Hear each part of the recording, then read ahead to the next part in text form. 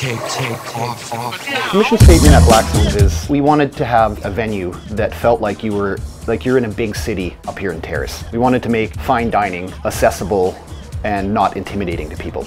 I wanted to kind of throw out the recipe book, throw out the playbook, and start looking at the dishes that we're doing and focusing on the ingredients. You will be able to taste the difference. From a chef's point of view, that is the key.